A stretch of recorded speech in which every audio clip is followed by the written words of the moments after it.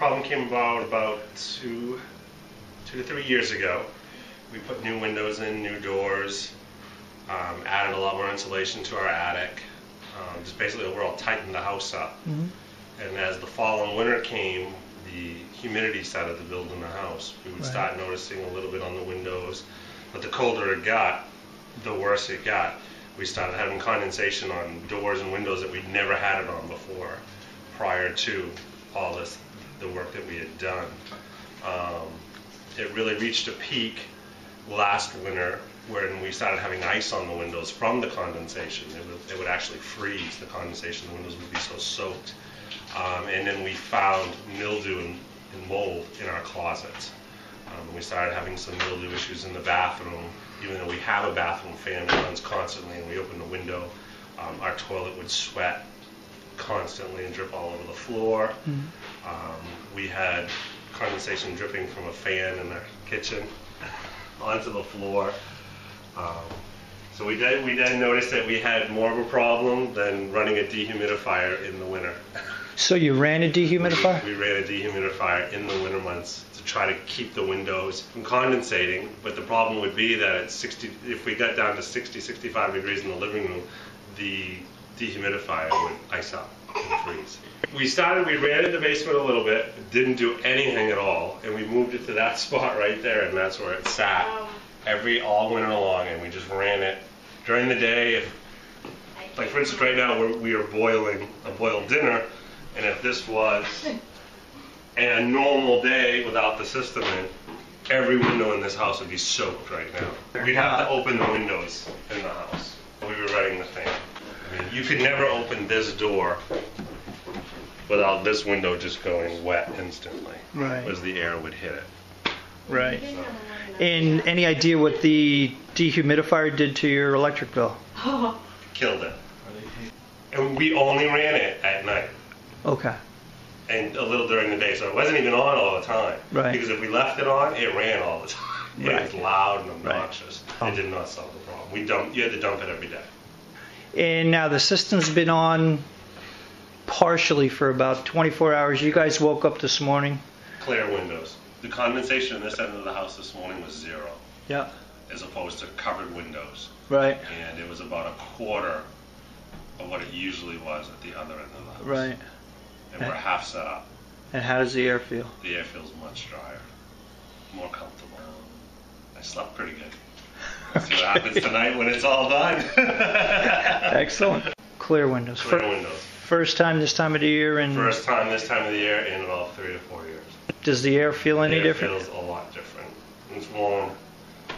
I mean, it's 75 degrees in here, 53% humidity, and we just turned the system back on. We'll have that. On a day like today, if she was boiling dinner, we'd be about 65, 66. We were 62 yesterday. Yeah. Started the day at 62 Yeah. with wet windows. Is there a way to get education out there? Because part, the hardest part of our journey to get where we are today was lack of education, not knowing what to do.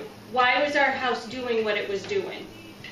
We didn't know. We thought we did everything right. So, you know, you're getting humidity and you're getting mold on your walls. So, okay, when cold air meets warm air, we're thinking, okay, we don't have enough insulation in our walls. We need to make our house tighter.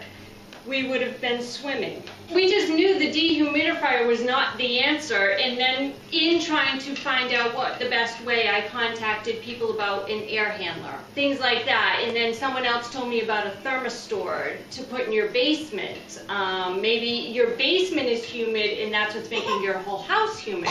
Cinder blocks for a basement, that doesn't keep water out, or it allows moisture in. Yeah, some people Um, wanted us to dig a six-foot trench around our house and put a weeping system in. I think it would have cost more than what we are spending now. Um, and then retar the whole outside of the foundation.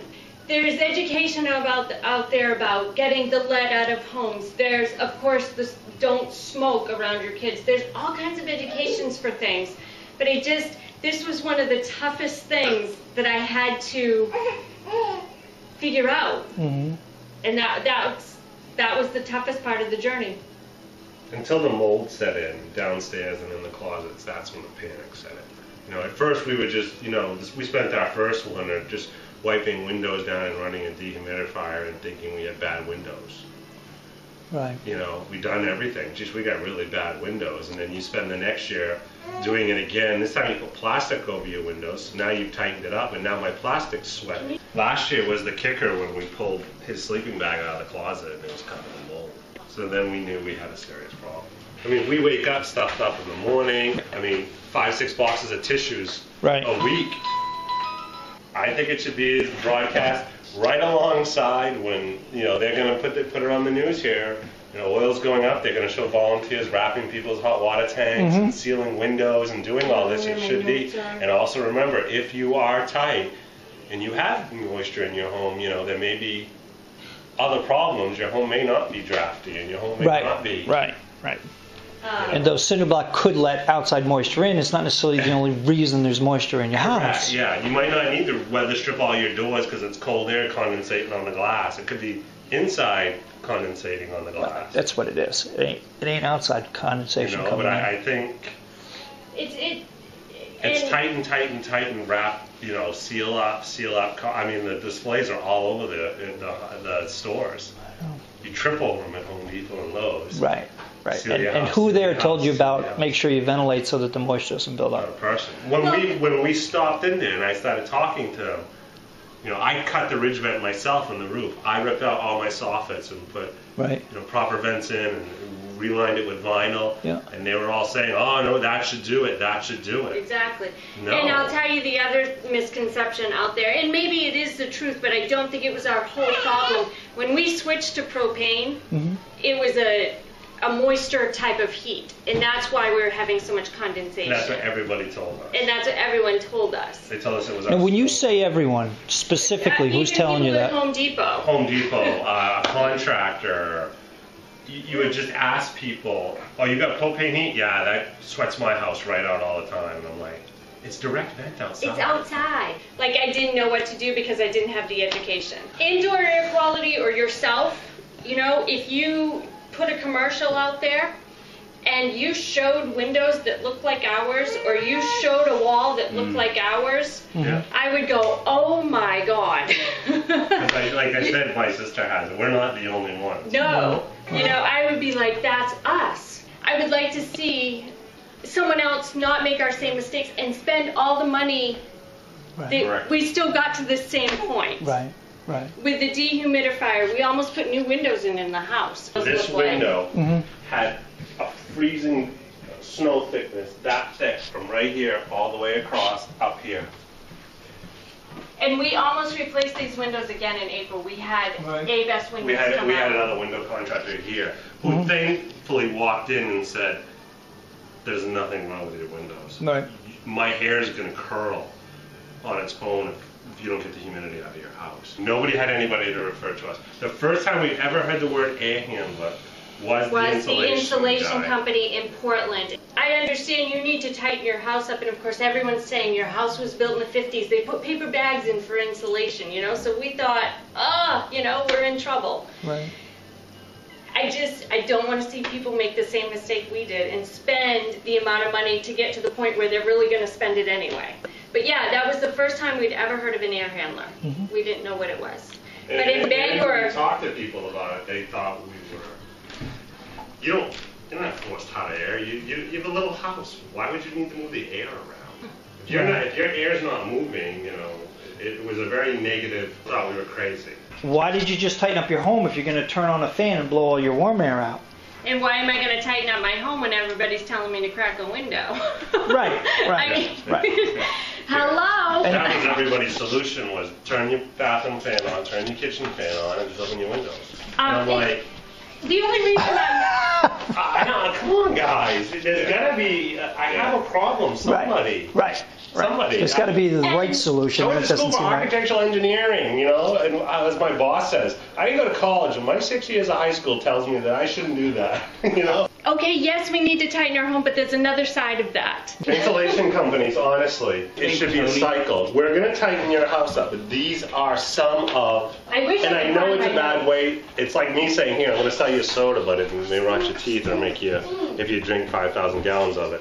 But there has to be some form of a responsibility You- where you- I'm going to seal your house all up, and now they're foaming people's walls Oh, yeah. and everything. Oh, yeah. But some of the repercussions may be that you're going to need to talk to this guy. If you left that old furnace in the basement and did all the insulation in the windows that you did, it may have backdrafted, and then you were into carbon monoxide, and that is Yeah, a and there's, problem. there's, Yeah. there's many, and that's the problem with the humidex. Anything that's blowing air out is you're depressurizing the house all the time, yes. and not only do you have 100% heat loss, but you may start generating problems Yeah. pulling in the exhaust fumes from different things, and The two years that we've done the research, we've discovered it isn't just the humidity that's the problem. mm, You know, all the things that come, the asthma, the all the things that are coming right, from your houses being right, You know, I, I think people would let four four thousand dollars over thirty years.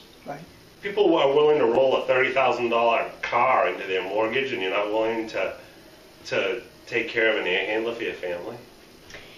Come on. You know, we took out a loan to do this because it was the smart thing to do. Yeah.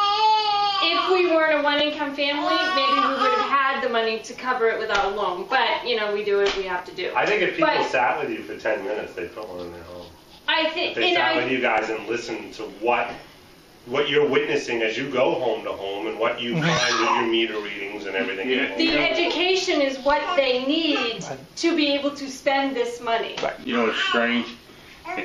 In other parts of the world, they already know all this. Yeah. Well, exactly. They put the they put the uh, exchangers in before they finish Yeah. That's house. right.